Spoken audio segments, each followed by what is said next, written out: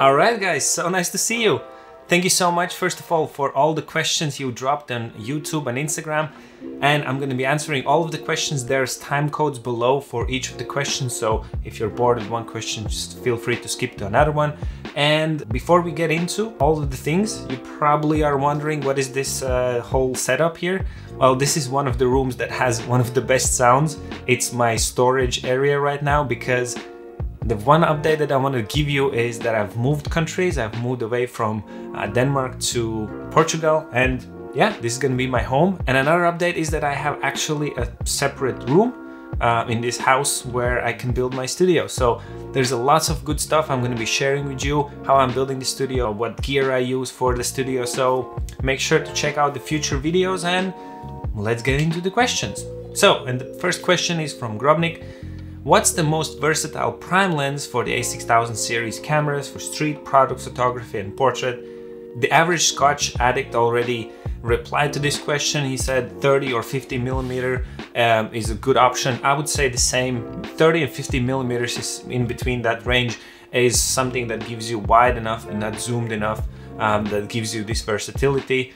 And as he says, the Sigma f1.4, 30mm or the 56mm, both of them are great options. You can't miss with those lenses. Cone Wolf asks, with all the new lenses you own and tested, be it a crop or full frame, which is your favorite and why? I love this question and I would say my most favorite is the Sony 85mm f1.8, that's the full frame version and I've used it on a crop sensor camera a lot um, as well as on full frame.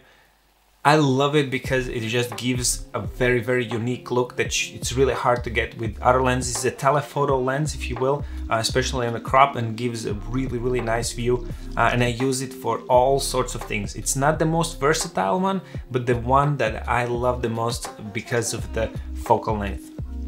And a question from Slumauфs is it okay if I want to buy A6000 plus the 85mm f1.8 as my first camera?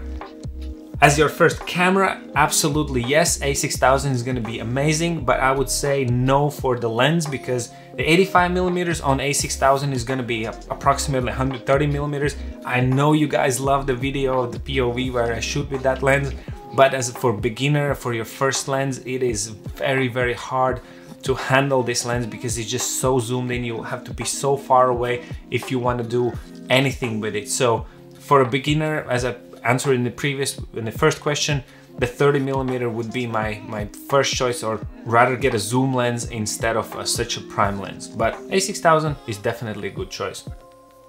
Yvonne asks how long ago and what got you interested in photography and which was your first camera my first camera was uh, the one I bought myself was Canon 1100D. Um, it was a fun camera. It came with the kit lens and a telephoto lens. It was amazing. And that was approximately what like 12 years ago. What got me interested? It's really hard to say. I think there's so many beautiful places around the world and with a camera you can capture it in a way that sometimes you can't just do it with your with your own eyes and you can see things that you sometimes would miss if you wouldn't have a camera. So maybe maybe that's what got me interested.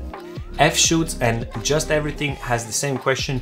Is it worth switching to another camera of the Sony a6000 range if you still have the a6000 if you are doing photography only I would say rather invest in lenses, especially good quality glass. That will give you a lot more opportunities to grow as a photographer.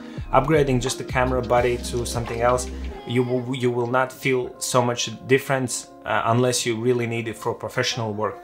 However, if you are um, gonna do video, then definitely I would say is worth upgrading, especially to something like Sony a6400 or now a really good option is the Sony ZV E10 um, if you want to do some video work. And Jimmy asks, why did you choose Sony camera? Well, first of all, yeah, I was shooting Canon for more than eight years, I believe. I was shooting with 60D and then I wanted to upgrade to full frame and I was looking at uh, lots of different options and from the Canon side there was nothing that I really liked for the price and what the performance I was getting. Sony at the time uh, offered a really really nice um, bundle with the kit lens and a 50mm f1.8 and I thought that's a really good option And so I got into the Sony ecosystem, if you will. So at the time I was not really informed uh, about my decision. It was just a good offer. But looking back now, I know that I did the best absolute choice, and and particularly it's because of the the E mount, And because the Sony has a, a wonderful E mount which you know offers you so many lenses. And now that I'm looking at what Canon is doing with the RF, EF and all the other M mount lenses and whatnot they just messed it up. So I'm really happy that I um, actually stuck with the with the Sony. Canon of course make good lenses good cameras but because of the mount I'm very happy uh, that I made that choice for Sony Krumris asks, Sveiks, hi by the way, Seiki. I would like to get some good bright zoom lens for my Sony a6000. Can you suggest? Zoom lens? Yeah, so f2.8 will be your choice. Uh, and in my opinion, there's just two lenses, the Sigma 18 to 50 millimeter f2.8 or the Tamron 17 to 70 f2.8. Both of them are excellent. I've done a, a review for the Sigma lens, but I know that Tamron is also really, really good. Wide range, it will cover everything from the wide to the zoom, and that should give you a really nice and bright lens. Check them out, and I think you'll be happy with them. Rover Boy asks, what about more heavy rain street photography POV? I have to wait for the winter in Portugal to come because there's no rain in the summer. But when that comes, I have that idea. So of course, stay tuned. There will be more rainy POV videos.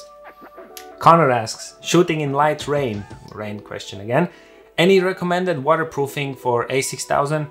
First of all, try not to shoot in the rain with A6000 because it's not weather sealed uh, you can damage your camera. What I do, I cover all the ports uh, so nothing, no water can get in anywhere. Um, I wipe it off very often, but actually what you can do, there are these little pouches you can order online uh, and just have your camera in there and just have the lens out.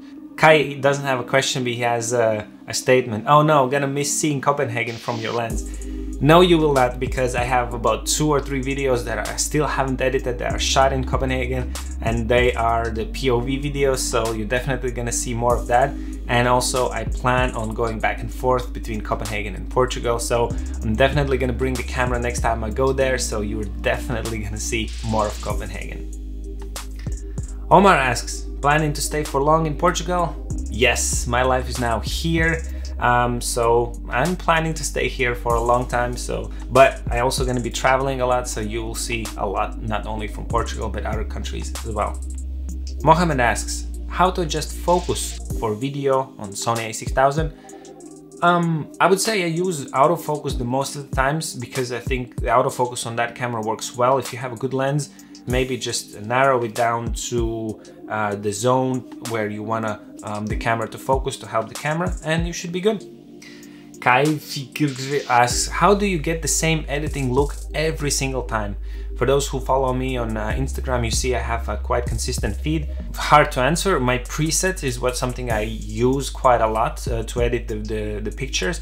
But the other thing is that the mood in general, you know, I don't go shoot sunny day and then super rainy day. As you see, my all of my photos are kind of already in that mood with the clouds or with the, you know, a little bit of mood and, and rain and, and stuff. So that already gives by itself a base to work with very good. And then uh, my photos are never oversaturated, so you don't see a lot of colors.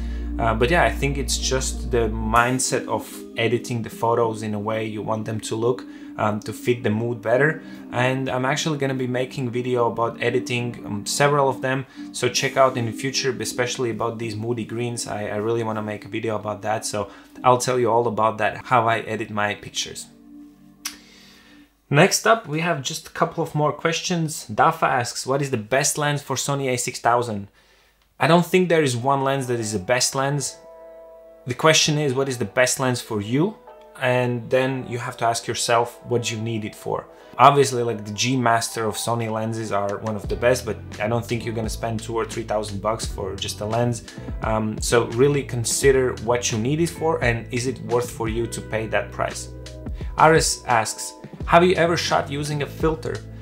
First of all, for videos, yes, I use uh, ND filter, variable ND filters all the time. I do not use the filters too much into photography, to be honest, but there's a lot of good filters and, and you can achieve quite a lot of good effects with, with them. I'm just too lazy to bring the tripod because if you want to use the filters you, uh, for long exposure and stuff like that, you probably should uh, get a tripod as well.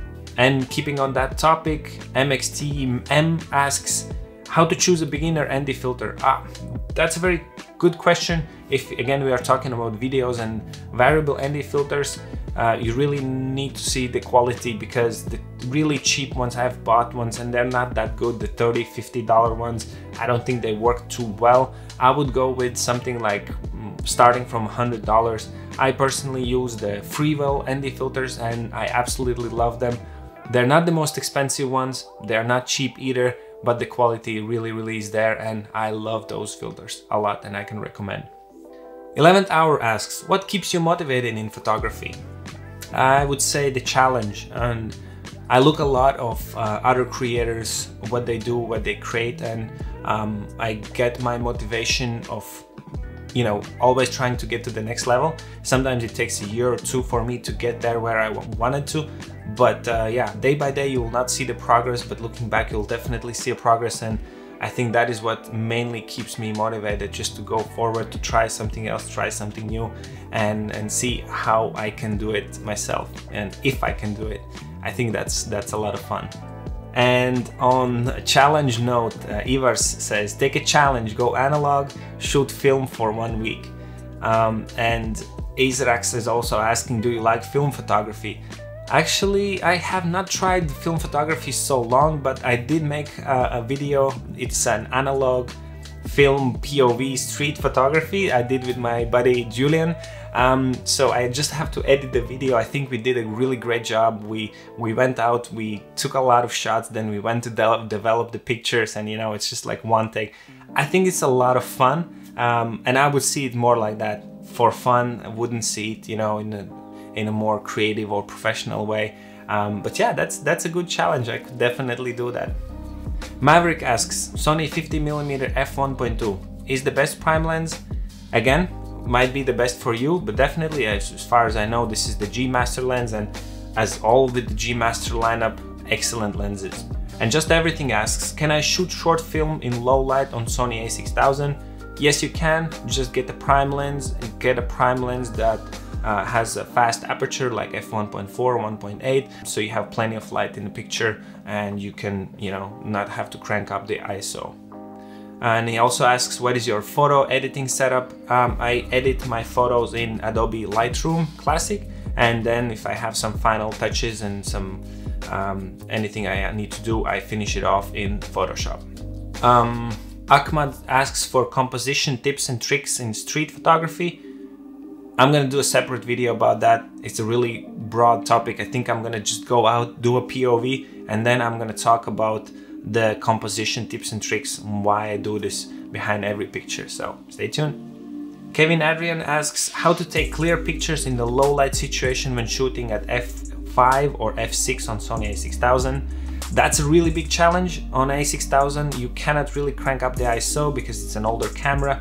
Um, and yeah, I think you have to use a light, a, a, flash or something like that, because otherwise, if you don't want to shoot in f1.8 or 1.4, then you definitely need to use some light to, um, some external light to compensate for that. And Jello asks, best external flash for Sony a6000? I haven't used any flashes, I will be very honest, I'm not a fan of flash, I'm a fan of uh, continuous lights. Um, but I think Godox produces a lot of good flashes. I see them, um, you know, professional photographers using all the time. I think the price range is also really big, so you can find something for yourself.